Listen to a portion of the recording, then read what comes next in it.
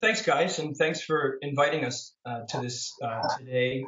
Um, so it's a very strange thing what we're doing in ethnography a lot of the time, and um, I want to set this conversation up today to really then hand it over to the other speakers, table some issues that they're probably doing um, a lot better with than me right now. Um, it's funny seeing Brian in the room. I mean, Brian and I have been struggling with this notion of ethnography and how to do ethnography for probably longer than we want to admit to everybody, just in year terms, um, really since the mid 1990s. Um, we've been going at different physical cultural settings and, and studying different things. And one of the biggest issues has always been for me um, this gap between, and I think this has probably plagued ethnographers um, in the field in a variety of different disciplines for a long time, the gap between what I've seen and what I'm able to talk about. And most of the stuff that I've done, at least, hasn't been sort of blitzkrieg forms of ethnography where I'm in for a couple of weeks or two months, six months. They've been long term projects. And the sheer volume of what you see and what you feel and what you go through, you know, deeply informs how you understand a particular culture. But that's often uh, lost in translation in terms of what I'm able to know and what I spend time, you know, developing an experience with in the field versus then what I report. And we were talking about this at a conference just this past summer in Chichester in England about the idea that in, in so much of contemporary ethnography, at least in what I used to see as editor of the SSJ and now co-editor of qualitative research in sport, exercise, and health, is that you know what what often gets ethnography, these complicated ethnographies that we do, is then some sort of textual representation, usually that relies on and privileges interviewing as the dominant form of knowledge that we take away from the field. And, you know, I often ask the question, why are we even doing ethnography anymore? If all we're going to take is a few bunch, you know, a bunch of words from uh, participants and, and really summarize that as the ethnographic venture. And I think what we're going to talk about today, at least I hope we get to, is the idea that video in ethnography has been around for a long time. I mean, we talk about in, in the anthropology, really one of the first documented ethnographies is 1895 in the in the study of a, a Senegalese uh, community. So we're not talking about relatively a new method, and that's often one of my frustrations when we talk about use of video or other mobile methods in ethnography is that we've been at this for you know 120 years. Um, always, you know, the question of why don't we use it more? How could we use it? How could we use it in effective ways without falling into uh, sort of the general pitfalls of what we normally fall into? And it's as was mentioned from the very beginning, I mean, I've done some weird ethnographic research in some pretty strange communities and really varying communities. And one of the things that uh, I've learned over the course of time, whether it's studying, you know, the ticket scalpers that I did, or tattoo artists, or the people in, you know, fox hunting and dog racing communities, is um, I'd like to, I'd like people to see what I see as one way of augmenting the descriptive process. Uh, but I also have wandered around, you know, and playing with different forms of video as a way of representing things differently. And I'm going to talk about tensions between, you know, using video as a descriptive aid versus versus using different forms of mobile technologies or video as a way of doing something about representation or reflexivity. Um, my interest really also stems out of something that is still emerging here at the University of Toronto in our group, um, and maybe we can talk about this a little bit later in questions. It's a project that I've uh, sort of developed with my graduates over the last couple of years called the Ethnoaesthesia Project, and the use of ethnographic in video and film to study uh, different physical cultures. And we're playing around with it. so my graduate students are doing far more interesting things than me in, in this context now that we've sort of opened the door about using uh, video.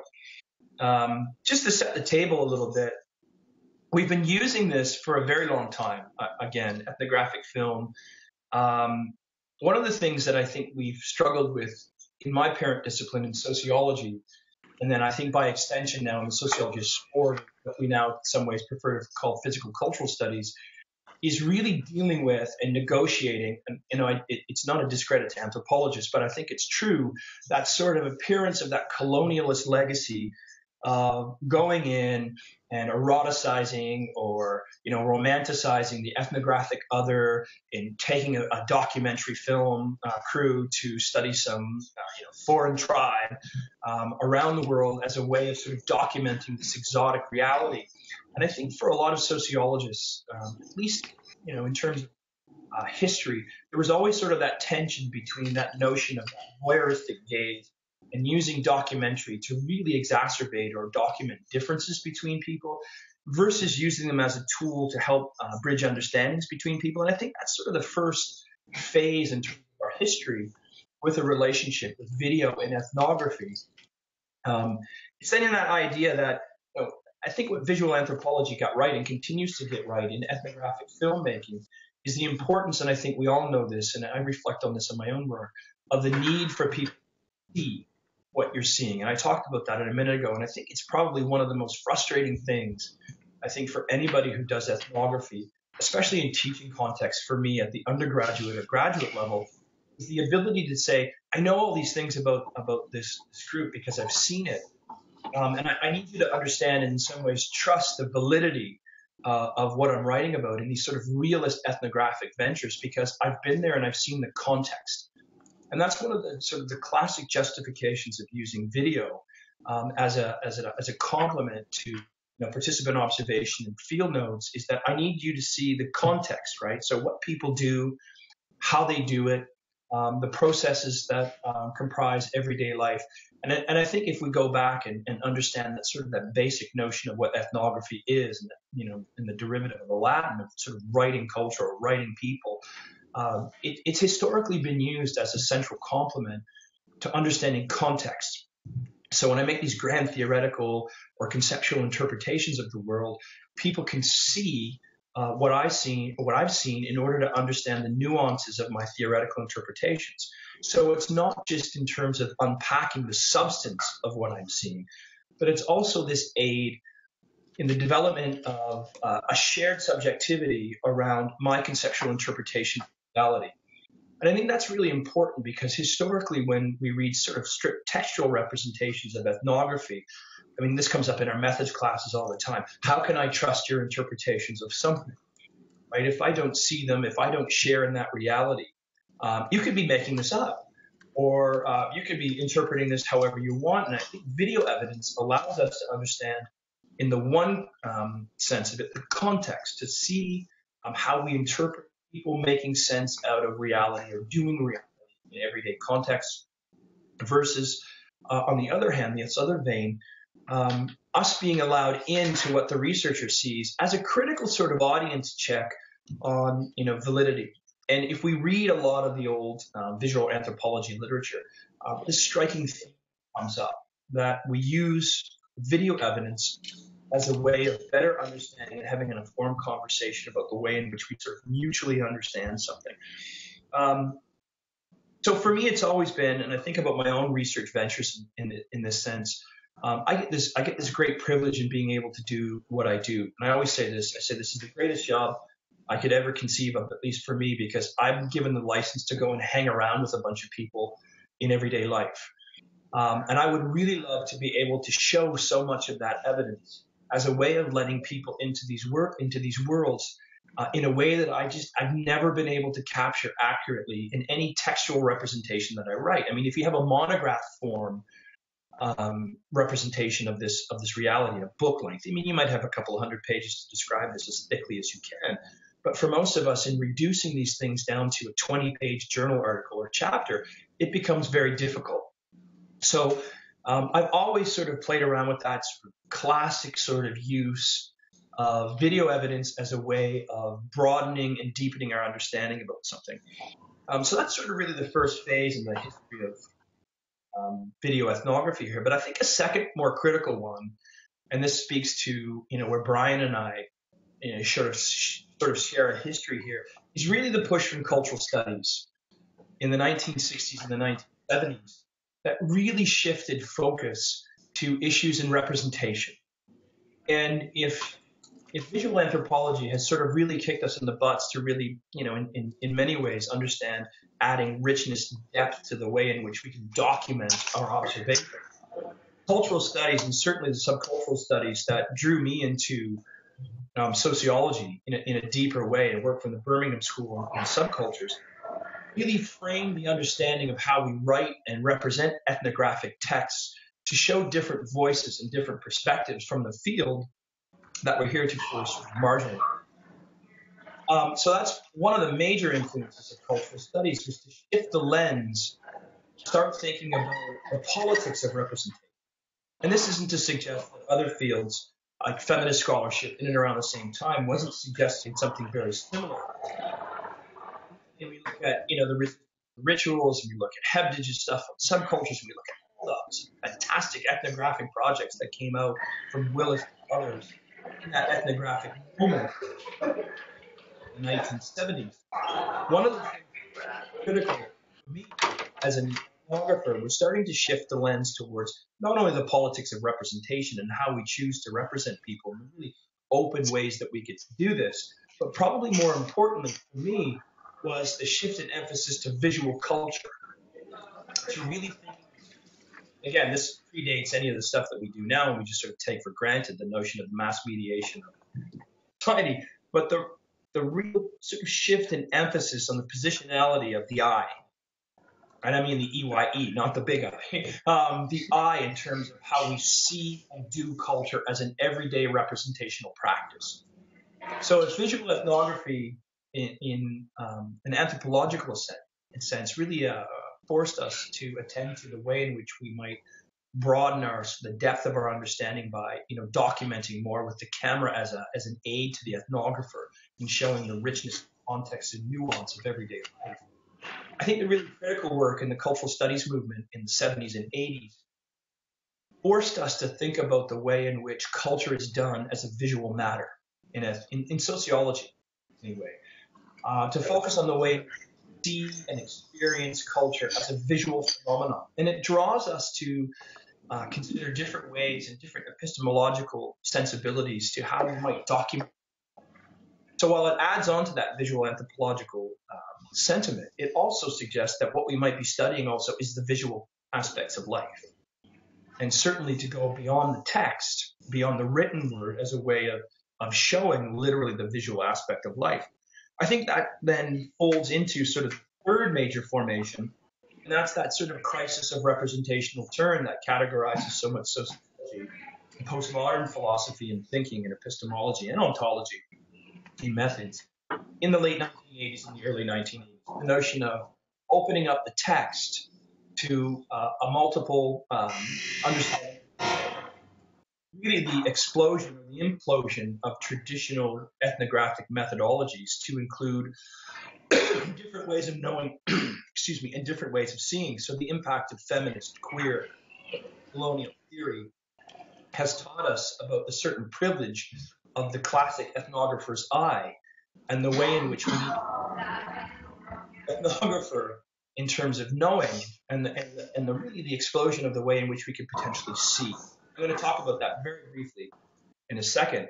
And I think the last moment here and sort of where we find ourselves now is the push in physical cultural studies because of the substance of so much of the on the senses and on emotion and on feeling. And I mean that sort of the haptic, the, the, the sense-based notion of the way in which there's been a, a recent new materialist push in so much of our research now, and I think of the work of Simone Fullagar, Fullagar, and, and others. Um, in new materialist sort of reality, um, researchers in PCS and the sociology of sport are figuring out the way in which we can bridge our understanding of the way in which we sense the world uh, into ethnographic texts and, and, video and mobile methodologies of the way in which we can often do that.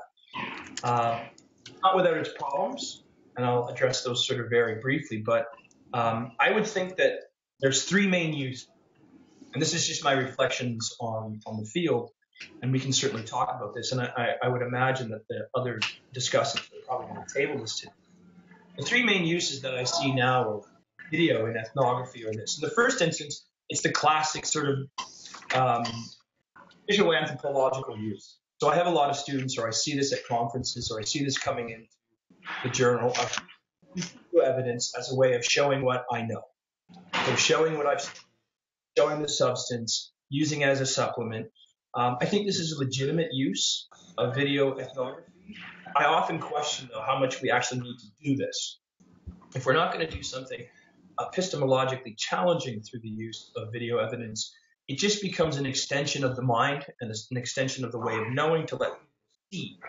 And if it's not really done without an effect, create an affect in the process of representation, I think we need to, as contemporary ethnographers, really challenge the way in which um, we do this. I'll give you an example of this. I showed this really frustrating 10 minute clip of on Ashtanga yoga at, a, at a, a, research conference at NASSS a couple of years ago.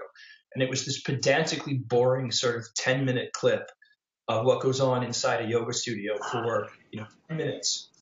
And, and I did it without interpretation. I did it without you know sort of layering any account on it. It was just sort of the sound and the scape of yoga in the studio for you know 10 minutes. And see after about two minutes, people starting to fidget in and around their chairs, thinking, you know, what the hell is this? Like, why is he just showing me people doing this? And um, it wasn't just to show the contents of what goes on in a yoga studio. It was to show sort of the way in which um, silence, movement, um, affect all that place. And so it's not just used as a supplement so that I don't have to try to textually describe, you know, what it is to pose in a particular place or what the place you know, looks like or the, you know, the features of it. Done for another purpose. So my encouragement is to sort of for this and researchers to go beyond the use of film as just an extension, allow people into the worlds of others. And that, that sort of gets into the second dominant use of this is around the notion of replay. And I think a lot of our students, and I see a lot of our work now in the use of you know, in ethnography, hinging around three dominant techniques, and that's photo voice, photo elicitation, um, and video diaries. And so these have been central techniques that um, young uh, researchers, sort of more seasoned colleagues in the field, have drawn in as a way of research participants in sort of more collaboratory projects with participants, um, as a way of, of going behind the camera in lots of ways or going behind the photograph to more actively bring them into the process of interpretation in the project. So again, it builds on that sort of postmodern sensibility of decentering the researcher as the subject and object of an ethnographic uh, research process and allowing for different voices to come in, uh, facilitated by uh, videos or photographs that we use from people. And sort of this is this is sort of now almost commonplace in ethnographic research. You know, the notion that you have to be very reflexive and allow people into uh, ethnographies in different ways. That's a second use of it. I think the most exciting use of video right now uh, really builds on the research that Cassie Phoenix is doing, that Brett Smith is doing, Andy Sparkes, Sarah Pink, uh, a colleague of uh, Phillip Vannini, uh, Jackie Allen Collinson, John Hockey. Um, all these people are, are, are doing in terms of the way in which we can try to capture video in ethnography to bring us more sensually involved into the research process and a way of trying to bridge our understanding between how people experience the world conceptually and how we feel physical cultural studies. So, how senses and feelings um, are tied up to identities and meaning making. I mean, it's a really complicated process.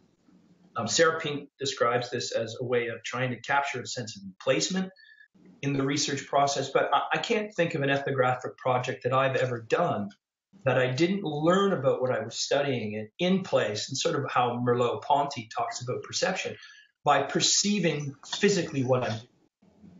Um, it's a central part of the meaning making process. And unless we attend to how we're actively doing this, we sort of miss that sort of central way in which people describe intersubjectivity. So we have mobile methodologies. Um, we have people using GoPro Pro cameras and strapping them on their heads to show the way in which movement is done in physical cultural settings as a way of getting to that sort of haptic, sensual aspects of uh, physical culture, as a way of integrating places, bodies, senses, and feelings. I think that's sort of the most exciting stuff that's coming out of video ethnography now. It's not just slapping uh, a video in there to say, you know, I know this project. The project has you know, developed because uh, I'm using a camera. It's the way in which the camera can be used to illustrate something different about the way in which we know things. Um, and, in, and just in closing, and I don't want to spend too much time setting this up, um, I think I would be it would be remiss if we didn't talk about the obvious problems in doing this. And of course, the obvious problem, you know, number one, every research ethics board will say, you know, the ethics of using video. Um, for all the standard sort of pedantic reasons the ethics boards say this, you know, issues of anonymity and confidentiality. We also talk about research methods saying, you know, this goes back to old visual anthropology. Once you, you know, sort of plonk a, a camera down, how does that change things? How does that change the way in which people act? Um, does it become more of a, you know, Goffmanian sort of dramaturgical performance involving everybody, where people deliberately stage what they're doing um, the camera? And I'm certainly, um, you know, aware of this in my own research, where I've used a camera, particularly in, in Ashtanga yoga, in a setting that's meant to be a very quiet, reflexive, introspective practice. I then, you know, put a camera in, and you know, people are drawn to this and it disrupts practice. So we have to be att- attentive to that. Um, we have to also be attentive and aware that it's still two dimensional. And for all the critics of the, you know, sort of written word, it's just this flat text. Video ethnography can also be a very flat text. It may allow us to hear participants and see particular things, but unless we involve it sort of more interpretively to the way know things, you know, it's just a sort of a cool, sort of innovative technique that we can use, you know, using technology just by default, using video evidence doesn't mean that you've really added on anything to the performance of research or the way in which you can analyze and represent it. It has to be, you know, um, consciously thought of as part of the epistemology of what you're doing and sort of your ontological position as a researcher, what I'm communicating about how people know things. Um, I would say this in my own sort of reflective practice. I'm dreadfully horrible at it right now in terms of my skill and my technique. Um, we have to interview people. We have to learn how to film them, or we have to learn how to you know bridge these understandings. Just because we can pick up you know an iPhone six or seven or a mobile uh, camera, it doesn't mean that we know how to use this. Uh, and I think film students have taught me that to say that one of the things that they resent quite dramatically taking up cameras this and that we can represent the world in these artistic and aesthetic and, and knowledge based producing ways. I think if we're serious about this, we have to start looking methodologically at in, and incorporating this kind of training into our own practice. We need to start reaching out to other disciplines uh, to teach us how to better uh, to do this. Finally, criteria for assessment. How do we even assess this? I mean, we're still academics and we're still bound up by these horrible things like you know validity and reliability. And even though we might want to draw on Richardson's notion of creative analytic practice, great 1999 piece in a journal of contemporary ethnography, we still have to wrestle around with in the process of trying to translate these things or publish them. How do we assess a colleague's use of video evidence and the diversity of forms and the diversity of evidence that's used? Now, this is particularly relevant to me as a journal editor, I often don't know what to do with in terms of sending the note to people. Direction in terms of, all right, how do you assess this as an academic text? Um, because as long as we frame this stuff academically, trying to fit academic stuff into it, we need to collectively decide on some criteria. Um, and, and for that reason, we have to be careful of and attentive to the different audiences that we bring into play here. And I think this is all frontier stuff for us in physical cultural studies because as the discipline and the sands beneath our feet are shifting, I think a lot of our, our, our uses and, and discussions of video ethnography still are yet to be deformed. I mean, they're still in their infancy. So that's why I'm particularly excited to be here today and to hear what other people think and to uh, understand what other people are doing in the field. Um, so with that, I'll say thank you, um, and I'm, I'm very interested to see what uh, my say. Thank you.